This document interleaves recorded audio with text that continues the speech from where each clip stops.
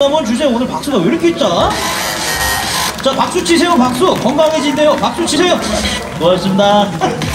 못 가질 거예요. 고맙습니다. 자, 우리는 이제 두 바퀴만 더 들어갑니다. 남은 바퀴는 두 바퀴. 와, 점프가 너무 높다. 아, 후!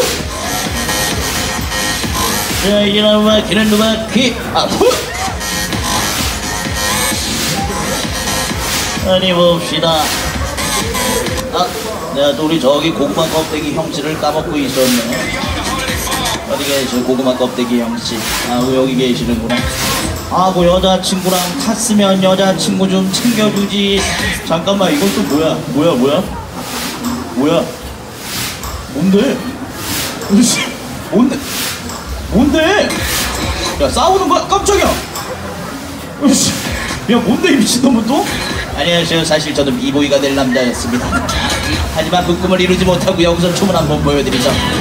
춤은 나를 미치게 만들지 미친놈들아. 갇힌다. 좋아.